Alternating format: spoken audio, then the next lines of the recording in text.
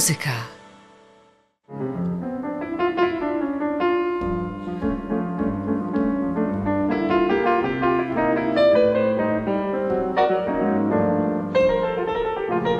He's been on the crest of a jazz wave for decades now, an adventurer in music, exploring all the genres. He's even invented one or two.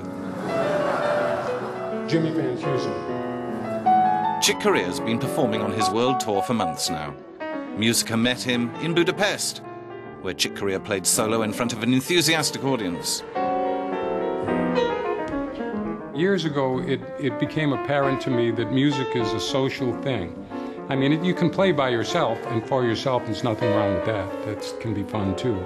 But really, music is something that, that we exchange to, to, uh, to bring pleasure and to sing, to dance, to, uh, to be light about life, to, uh, to somehow bring the spirits up in one way or the other.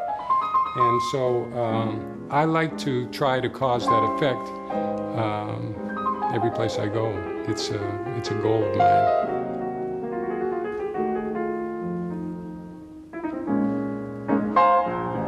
Budapest, with its Central European flavour, boasts a remarkable musical tradition, of which the Liszt Academy is the perfect illustration. Recently restored, it's regained its historic splendour.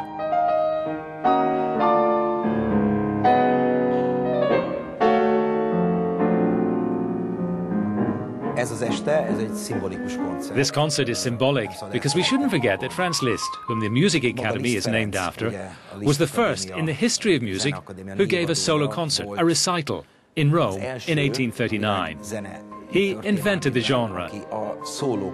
Tonight, Chick Corea symbolically made an appointment with Franz Liszt. Ma este Chick Corea a tulajdonképpen adott Liszt Ferencnek.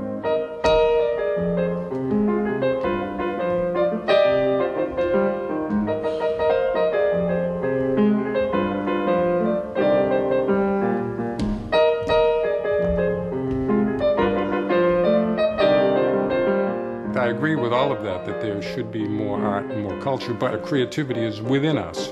Each individual owns it. And it's a matter of taking responsibility to do it. It's a matter of, uh, of pushing it through in a way that it, that it happens. Things won't happen with laws and bureaucracy. Things will happen with individuals creating and doing things. That's what I think.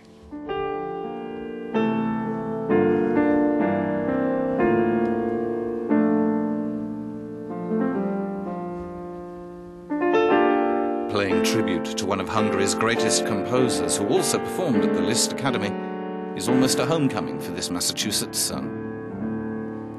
Bela Bartok was the first uh, classical composer that I got interested in when I was in high school because I, I practiced uh, Bach and Mozart, but uh, I wasn't so interested in them at that time. It was nice, but uh, Bartok, wow.